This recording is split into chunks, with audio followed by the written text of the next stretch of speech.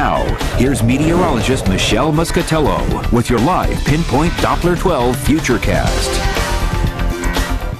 Well, the fine late November weather continues. We have abundant sunshine, mild above average temperatures this afternoon, and we're just getting started here. The mild air will continue to flow in over the next couple of days with temperatures uh, climbing into the 60s, especially uh, for tomorrow. Radar is quiet over Rhode Island, southeastern Massachusetts, all the way out to Cape Cod, where the skies are sunny. We'll uh, focus in over the Newport area, and perhaps you're out and about this evening catch maybe the uh, Newport Harbor parade of boats going on at uh, 6.30 in the evening.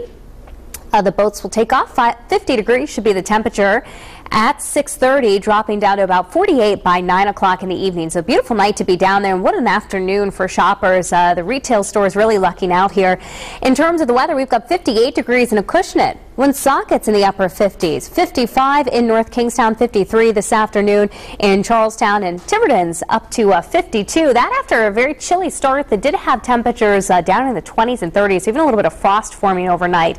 This is satellite and radar over the last four hours. Look at the absence of clouds around the northeast. There's a big area of high pressure providing this dome of dry and pleasant conditions. And as we get the southwest wind uh, from this high next couple of days as it slowly slides to the east, we are going to pump in this warmer air that you see all over the Ohio Valley and the Midwest and making its way into our neck of the woods now uh, with Providence at 56 and Boston up to 58 degrees. So temperatures this afternoon, we keep sunny skies, should come up to about 60, 3 o'clock in the afternoon at 58, and at 5 this evening we're back down to about 55 degrees. In more detail for you, if you are uh, running errands downtown, perhaps doing a little shopping at 61, 60 in Pawtucket, west-southwest winds this afternoon, 5 to 15 miles an hour. I have us in Garden City, 61. Cranston sunshine and 61 degrees, and Barrington should come in in the upper 50s to about 60.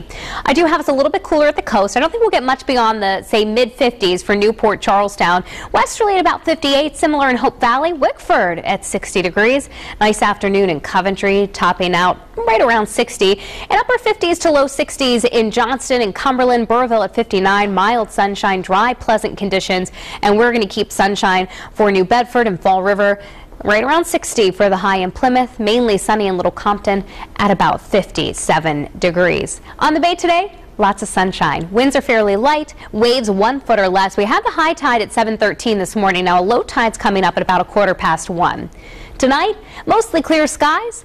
Looking good. Temperatures aren't going to be as chilly. In fact, we'll only slowly drop through the 40s. And I have us late tonight uh, reaching an overnight low of about 42. Weekend looks great. 63 Saturday. Increasing clouds on Sunday. Now, there's a chance of showers starting Sunday night. And in the seven-day Futurecast, you can see that I have showers for Monday, Tuesday, and possibly extending into a part of Wednesday. So it's something that we'll be keeping an eye on. But the week, uh, the weather looks dry and warm for the rest of the weekend.